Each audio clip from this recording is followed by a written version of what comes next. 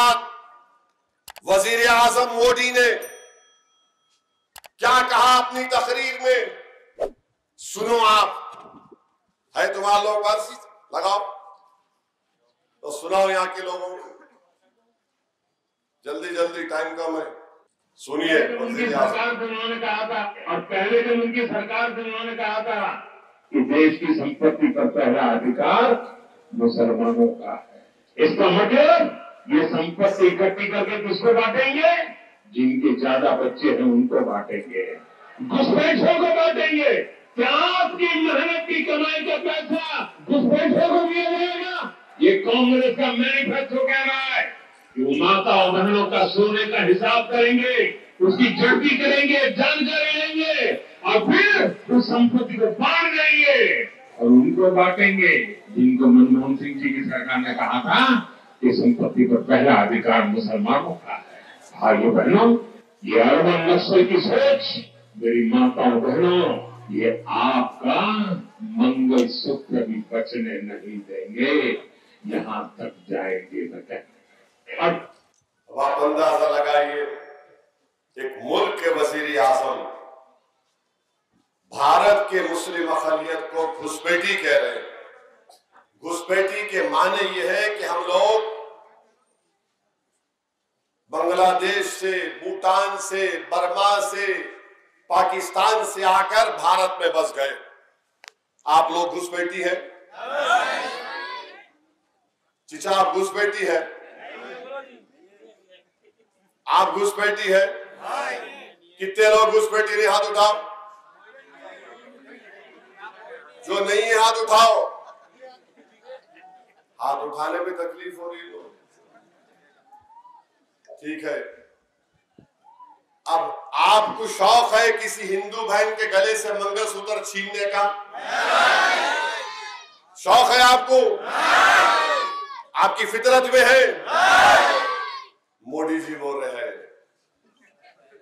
और मोदी जी बोल रहे हैं कि मुस्लिम खवातीन ज़्यादा बच्चों को पैदा करते, मोदी जी खुद भूल गए कि उनके अब्बा छह को पैदा करें। अमित शाह की छह बहने हैं। गोलवालकर के ग्यारह थे।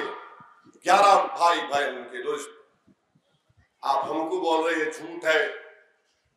गवर्नमेंट का डेटा ये बोल रहा है कि खातन का TFR rate, total fertility rate गिरा है। गिरेगा। मगर मोदी क्या कर रहे हैं? कि इस देश में मुसलमानों की इतनी आबादी हो जाएगी कि हिंदुओं से बढ़ जाएगी कभी नहीं होगा। आज से 50-55 साल के बाद हमारे हिंदू भाइयों की आबादी स्टेबलाइज हो जाएगी। उसके 30-40 साल के बाद मुसलमानों की आबादी स्टेबलाइज हो जाएगी। यानी मुसलमानों की आबादी 17 फ़ीसद तक जा सकती है।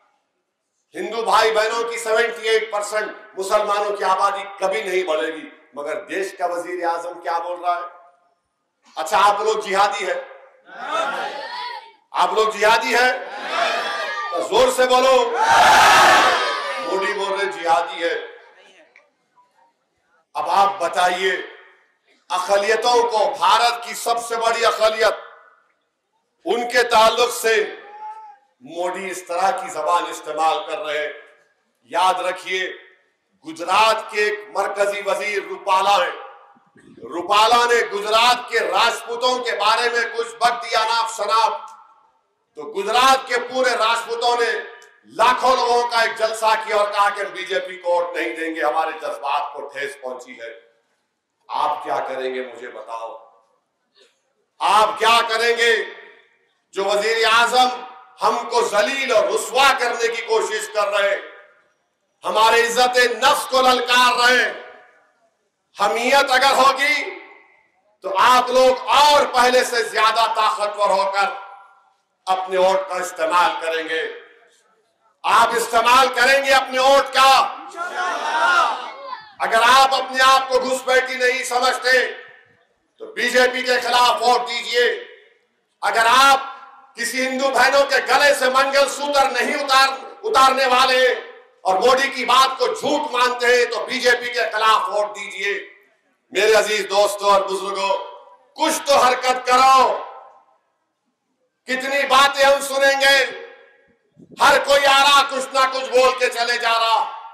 मेरे अज़ीज़ दोस्तों और बुज़ुर्गों, थोड़ा लाइटर वेन में एक हैदराबाद के शायर है मजाइया उनका नाम मोइन बम्बू है।